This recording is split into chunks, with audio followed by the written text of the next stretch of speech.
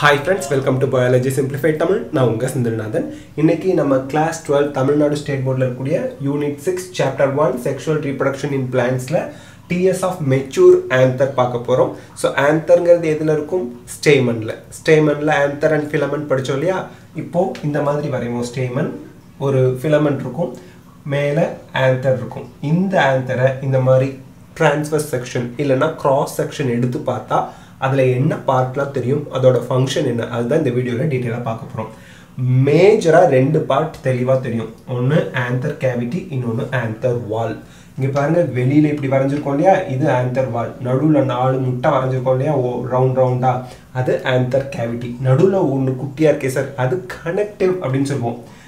இந்த ரீஜனையும் இந்த ரீஜனையும் கனெக்ட் பண்ணுற மாதிரி இந்த இடத்துல இருக்கிறதுனால அது connective அப்படிம்போம். So one two three four நாலு ஆந்தர் கேவிட்டி இருக்குது கேவிட்டினா எம்டி ஸ்பேஸ் ஒரு ஸ்பேஸ் மாதிரி இருக்காது. ஆந்தர் வால் சுற்றி கவர் பண்ணிட்டு இருக்கு. Okay this is bilobed இங்கே பாருங்க this is one lobe this is another lobe bilobed and each lobe has two theca இது ஒரு தீக்கா இது ஒரு தீக்கா இது ஒரு தீக்கா இது ஒரு தீக்கா ஒவ்வொரு லோபுக்கும் ரெண்டு தீக்கா இருக்கும். அதனால் இதை dithecous anther அப்படிம்போம்.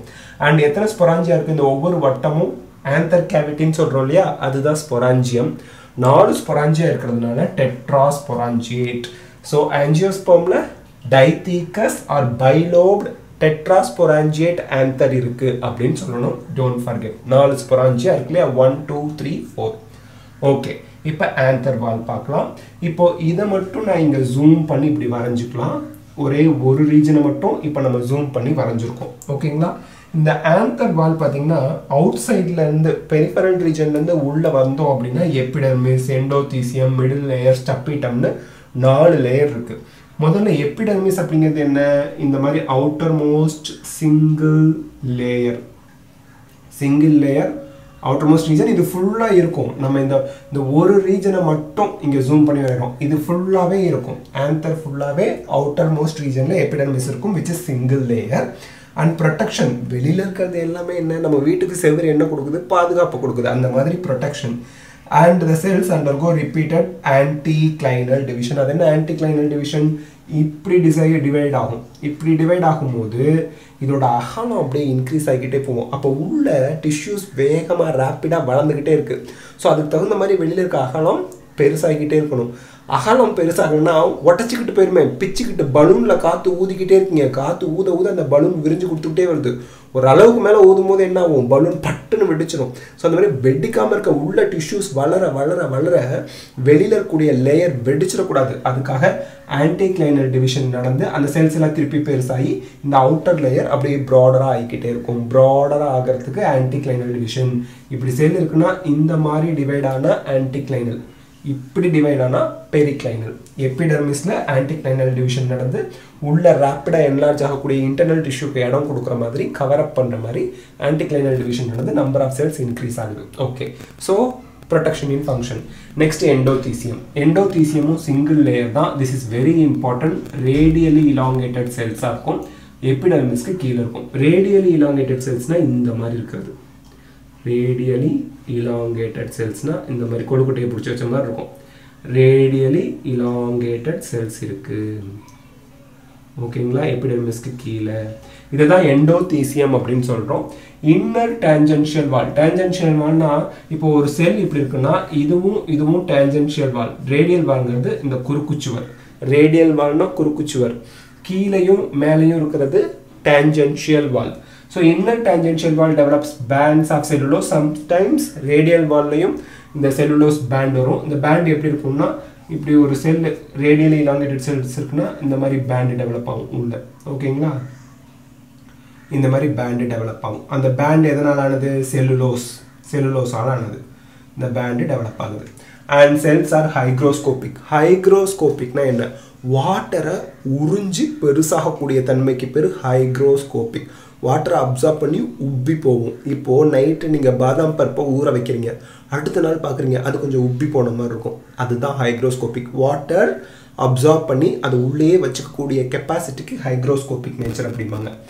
Anthers of aquatic plants aquatic பிளான்ஸ்னால் என்ன? ஹைட்ரோஃபைட்ஸ் தண்ணியில் வளர்கிற பிளான்ஸு சாப்ரோஃபைட்ஸ் சாப்ரோஃபைட்ஸ்னால் என்ன? டெட் அண்ட் டீகேயிங் ஆர்கானிக் மெட்டீரியலை சாப்பிடக்கூடியவங்க. இறந்து போன மக்கி போகக்கூடிய உணவுகளை சாப்பிட்றவங்க. Cleistogamous closed flower self pollination தான் அங்கே நடக்கும்.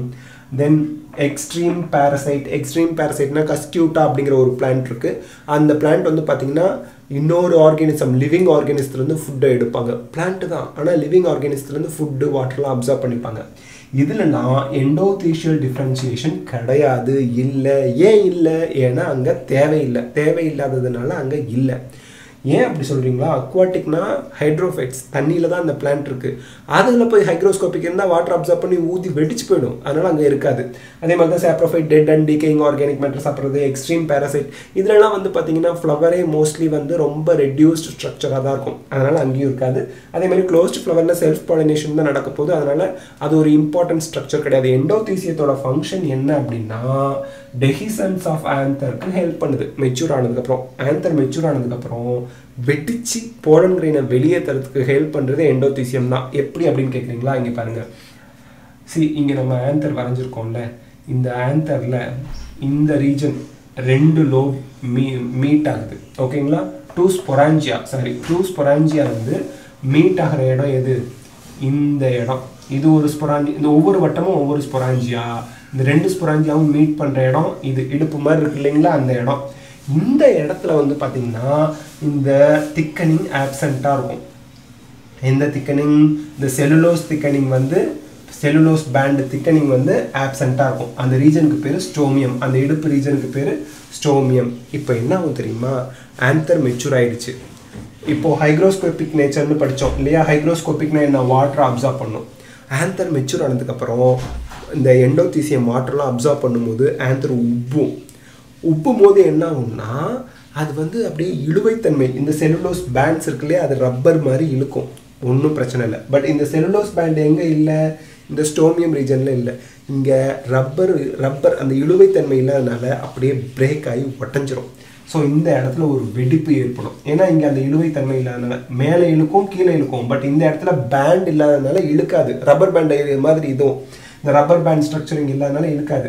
ஸோ இந்த இடத்துல ஸ்டோமியம்ங்கிற ரீஜனில் பிரேக் ஆகி போலன் வெயின்ஸ் எல்லாம் வெளியே போகிறதுக்கு ஹெல்ப் பண்ணும். ஸ்ட்ரோமியமும் ஹைக்ரோஸ்கோபிக் நேச்சர் ஆஃப் எண்டோதீசியமும் தான் dehiscence of anther at maturity anther mature ஆகும்போது அது வெடிக்கிறதுக்கு ஹெல்ப் பண்ணுது. எதுக்காக வெடிக்கணும்? அப்போ தான் போலன் கிரெயின் காற்றுல ரிலீஸ் ஆகும். இல்லை பூச்சி கேரி பண்ணிட்டு போகும். எண்டோதீசியத்துக்கு அடுத்து வரது மிடில் லேயர் மிடில் லேயர் வந்து two to three layers in thickness இருக்கும். நெக்ஸ்ட் எண்டோதிசியம் எண்டோதிசியம் வந்து வருது epidermis endothecium and then middle layer this is ephemeral எஃபிமீரல்னா என்ன? Live for only short time ரொம்ப குறுகிய காலத்துக்கு தான் அது இருக்கும். அதுக்கப்புறம் அழிஞ்சு போயிடும். ரொம்ப குறுகிய காலத்துக்கு தான் அது இருக்கும். அதான் எஃபிமீரல்னு சொல்லுவாங்க. So it disintegrate and crushed during maturity anther mature ஆகும்போது இதுவே அழிஞ்சு போயிடும். இல்லைன்னா நெசுக்கப்பட்டு இல்லாமல் போயிடும். அதோட லைஃப் டைம் ரொம்ப ஷார்ட் டைம் அதுதான் எஃபிமிரல்னு சொல்கிறோம் நெக்ஸ்ட் டப்பிட்டம் டப்பிட்டம் ரொம்ப இம்பார்ட்டன்ட் ஏன்னா this is the innermost layer of anther wall epidermis endothecium middle layer and then tapetum உள்ளே இருக்கிறது. டெட்ரட் ஸ்டேஜ் அதாவது development at tetrad stage of microsporogenesis இப்போது மைக்ரோஸ்போர் மதர் செல் இருக்குது இது வந்து மியோசிஸ் நடந்து மைக்ரோஸ்போர் டெட்ரடை ஃபார்ம் பண்ணுன்னு சொன்னோம். இன்னொன்று பின்னாடி இருக்கும். இந்த மைக்ரோஸ்போர் டெட்ரட் வரும்போது இந்த டப்பிட்டம் கம்ப்ளீட்டாக மெச்சூர் ஆகிருக்கும் it is derived from tapetum எதுலேருந்து டெவலப் பண்ணுச்சு அப்படின்னா பெரிஃபரல் வால் லேயர் பெரைட்டல் லேயர்லேருந்து வந்துச்சு கனெக்டிவ் டிஷ்யூலேருந்து வந்துச்சு. கனெக்டிவ் டிஷ்யூனா நம்ம இப்படி வரையும் போது இந்த இடத்துல ஒன்று வரைஞ்சோம் இல்லையா? அதான் கனெக்டிவ் டிஷ்யூ அந்த கனெக்டிவ் டிஷ்யூலேருந்தும் டப்பிட்டம் டிரைவ் ஆனிச்சு அப்போ டூயல் இன் ஆரிஜின் ரெண்டு டிஃப்ரெண்ட் செல்ஸ்லேருந்து அது உருவாகி இருக்குது அப்படின்னு அர்த்தம். இதோட main function nourishes sporogenous tissue ஸ்போரோஜீனஸ்னா ஸ்போரை ப்ரொடியூஸ் பண்ணக்கூடிய டிஷ்யூன்னு அர்த்தம். அதுலேருந்து தான் மைக்ரோஸ்போர் மதர் செல் வரும். மைக்ரோஸ்போர் மதர் செல்ஸ்லேருந்து தான் மைக்ரோஸ்போர்ஸ் வரும். இது எல்லாத்துக்கும் நரிஷஸ் நரிஷஸ்னால் ஊட்டச்சத்து. ஊட்டச்சத்து கொடுக்குது.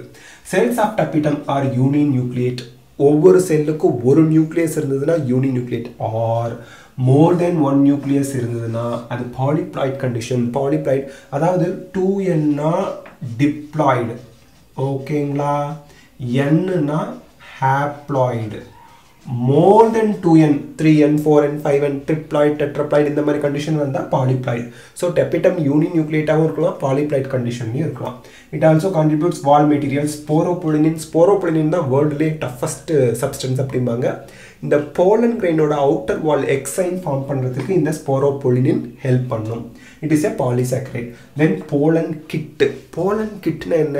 இந்த செம்பருத்தியெல்லாம் எடுத்து பார்க்கும்போது உங்களுக்கு அந்த போலன் கிரெயின்ஸ் வந்து எல்லோ கலரில் வந்து டஸ்டியாக ஒட்டிக்கும். அந்த ஸ்டிக்கி சப்ஸ்டன்ஸ் அப்படியே வந்து ஒட்டிக்கிறதுக்கு ஹெல்ப் பண்ணுறது தான் போலன் கிட் ட்ரைஃபின் அப்படிங்கிற ஒரு protein and number of proteins control incompatibility reaction இது எல்லாத்தையுமே ப்ரொடியூஸ் பண்ணுறது யார்?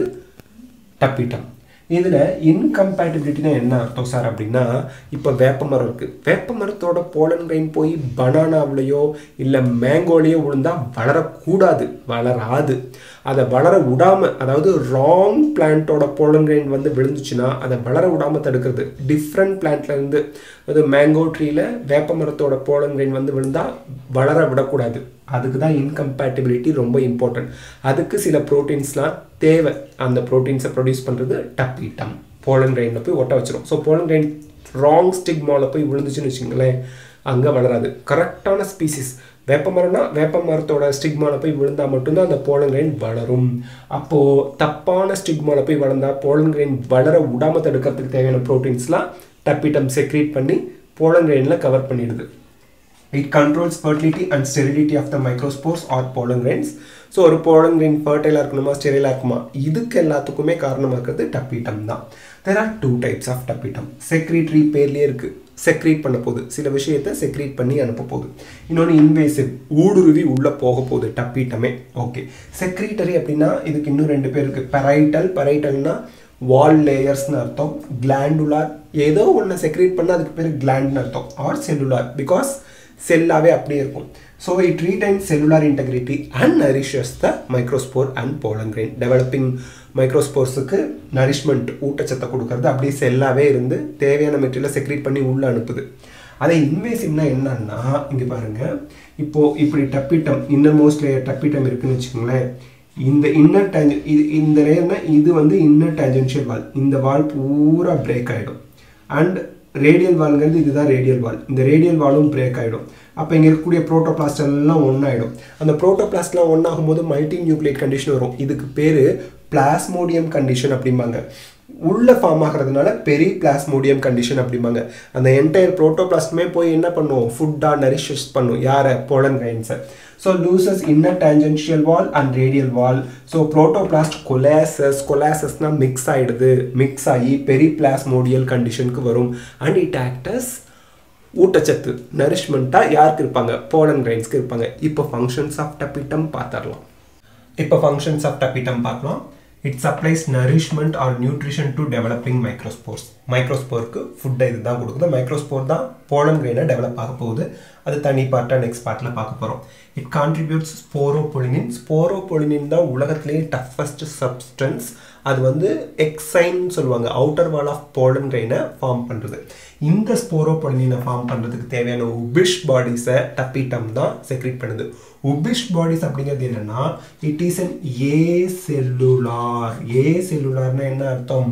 செல் ஸ்ட்ரக்சர் இருக்காது ஏன்னா absent absence of cellular structure cell அதாவது உபிஷ் பாடிஸ்ங்கிறது எ சப்ஸ்டன்ஸ் ஒரு கெமிக்கல் ப்ரொடியூஸ்ட் பை டப்பீட்டம் இது ஸ்போரோபொலினின் ஃபார்மேஷனுக்கு கான்ட்ரிபியூட் பண்ணுது உபிஷ் பாடிஸ் அப்படிங்கிறது secreted by tapetum okay it is impart it plays an important role in pollen wall formation exine ஃபார்மேஷனுக்கு help பண்ணுது. And pollen kit நம்ம already சொன்னோம். Pollen kit போய் ஏதாவது ஒரு சர்ஃபேஸில் ஒட்டிக்கிறதுக்கு ஹெல்ப் பண்ணுறது போலன் கிட் இந்த போலன் கிட் வந்து டெப்பிட்டமில் செக்ரீட் ஆகி then transferred to pollen surface so pollen வந்து ஒரு இன்செக்ட் வருது ஒரு பேர்ட்ஸ் வருதுன்னா அதோட பாடியில் ஒட்டிக்கிறதுக்கு இந்த போலன் கிட் ஹெல்ப் பண்ணும்.